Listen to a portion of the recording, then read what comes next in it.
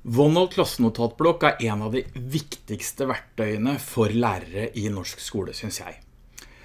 Jeg jobber til daglig med å undervise lærerstudenter på Høgskolen i Østfold.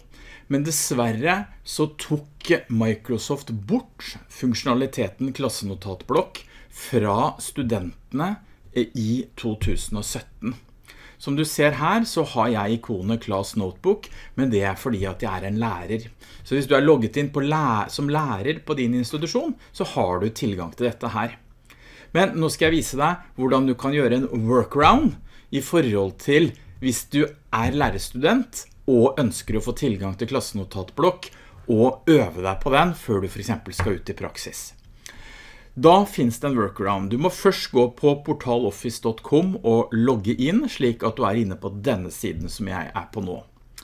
Da kan du åpne et faneark til i nettleseren din, og så skriver du inn denne adressen, nemlig onenote.com slash classnotebook.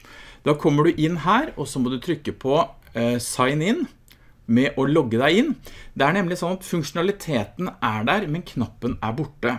Så trykker du på sign in, og jeg har lagret passordet mitt, så da kommer jeg automatisk inn til her jeg starter opp å lage en klassenotatblokk.